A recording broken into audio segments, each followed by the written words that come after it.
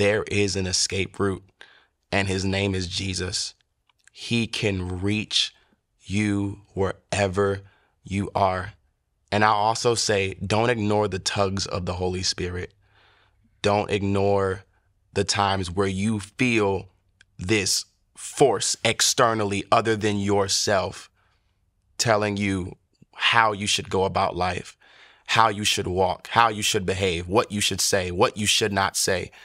Because that's not a force, that's the Holy Spirit.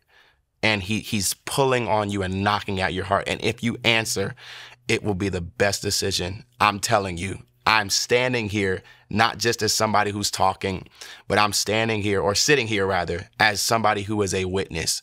If you say yes to the knock of your heart from the Lord Jesus Christ, it will be the best decision that you have ever made in your life.